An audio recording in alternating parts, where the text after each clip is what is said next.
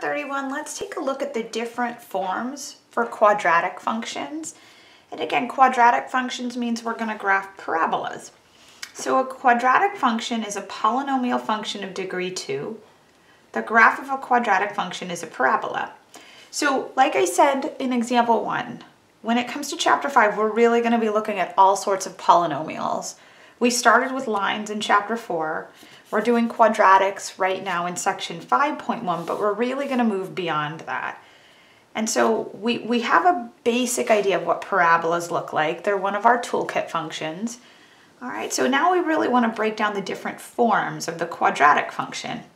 You're probably pretty familiar with the general form. So the general form of a quadratic function is f of x being equal to ax squared plus bx plus c, where a, b, and c are real numbers and a doesn't equal zero. And the reason we specify a not equaling zero is because if a was equal to zero, well then this would just be a linear function, and that's, that's a different graph. All right, when you hear me refer to the standard form of a quadratic function, we have a times the quantity x minus h squared plus k. And again, a can't equal zero. All right, now sometimes instead of referring to this as the standard form, folks will call this the vertex form of a quadratic function, and that's usually what I refer to it as. And the reason being is that it's really nice for us to read the vertex. It's the ordered pair h comma k, all right, and this is either the high point or the low point. So when I have a quadratic function in vertex form or in standard form, it's really easy for me to rattle off the vertex. I just see it as hk. Now, if it's not in standard form, right, maybe it's in general form, there's a nice formula to help you find the coordinates of the vertex. The x-coordinate, or h, is always negative b over 2a, and then the y-coordinate of the vertex, k, is that x-coordinate negative b over 2a plugged into the function. And that looks a lot more convoluted than it is. We'll, we'll play it out in the next couple of examples. Okay, so with that, keeping this in mind, keeping general form and vertex form in mind, we're gonna revisit that, that quadratic, that parabola that we had in example one, but now we're gonna figure out what its equation is. So I'm gonna, I'm gonna scooch this up a bit all right. See if I can leave that in view and see how much we can get done here. So this says, write an equation for the quadratic function g in the figure below as a transformation of f of x, right, your toolkit parabola function, and then expand the formula and simplify the terms to write the equation in general form. Okay, so I need to end in general form. And I know we just discussed it, but let me scooch this right back down so we can talk about it one more time. General form is ax squared plus bx plus c. So at the end of this, I'm going to have some a, b, and c for my quadratic, and we're, we're going to figure out what those are. But for right now, I'm going to start with vertex form. And the reason I'm going to start with vertex form or standard form is because I actually can read the vertex on this graph. All right, so let me again scooch this way back up. And let's see how far we can get through this problem. All right, so here's my vertex. We identified it in example one, three comma one. Those coordinates are going to become very important. So I know g of x, right? They're telling me this is function g of x. I know it's equal to a times x minus h squared plus k, okay? Now with that, let's keep in mind that we happen to know a pretty important trait we know the vertex of this parabola is the ordered pair 3 comma 1. And that vertex always comes in the form h comma k. So I am told, or I can infer, that h is equal to 3 and k is equal to 1. Right? I see that one-to-one -one mapping. So let's go ahead and plug that in here. We know g of x is equal to a times x minus, well, h was 3 and k was 1. So I'm, I'm a little bit closer to being able to figure out the, the vertex form of my parabola. The only thing I'm missing is this a value. All right, well, whenever you have one letter you need to solve for, that means you need to grab one more ordered pair. So let's see what other ordered pair lives on our parabola, and we can pick any of them. I tend to want to pick ordered pairs that fall on a grid mark, makes my life a little bit easier. So I see this ordered pair is nice and on a grid mark, and this ordered pair is also nice and on a grid mark. I don't need both of them. I just need one. I'm actually going to use this ordered pair because the numbers are going to be nicer. This is the ordered pair 0, comma 7. It looks like this was the ordered pair 6, comma 7. I could use either of these, but I'm going to opt to use 0, comma 7.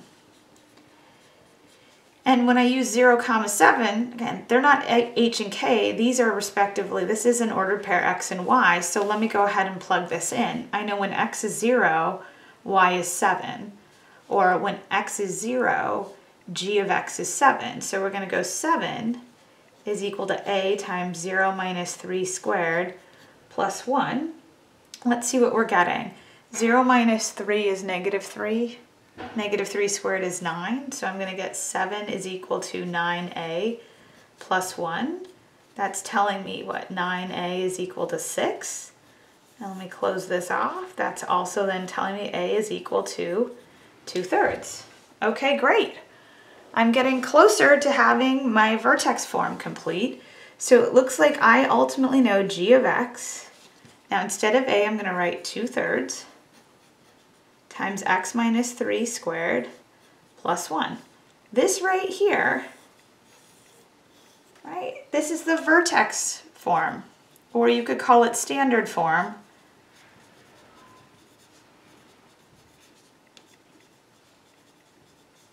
of our parabola.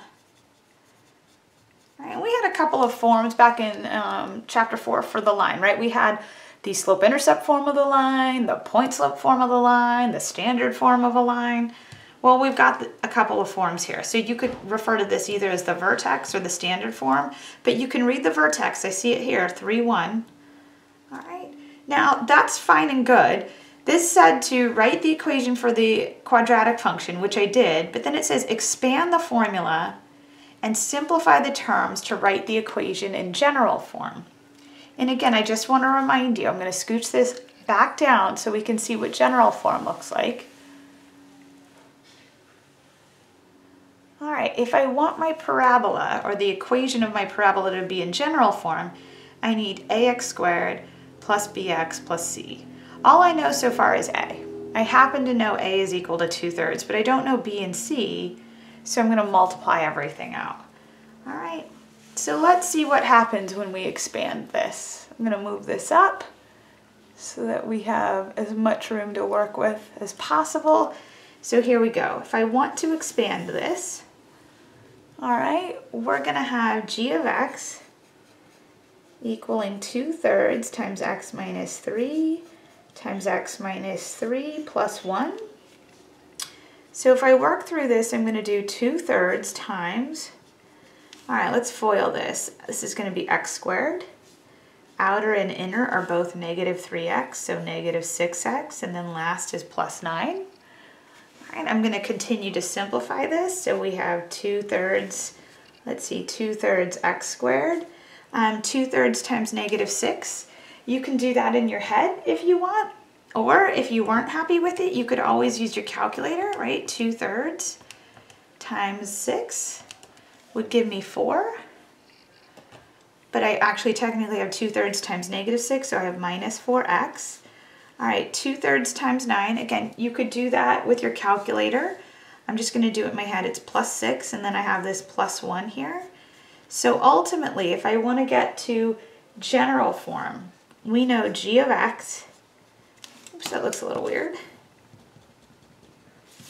We know g of x is equal to 2 thirds x squared minus 4x. All right, 6 plus 1 is 7. And this right here, that is ultimately what they were asking me for, right? This is the general form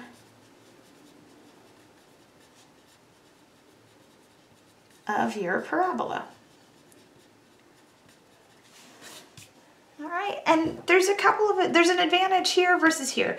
I, I like vertex form because I can see the vertex, it's 3, 1. The thing I like about general form is I can pretty easily see the y-intercept.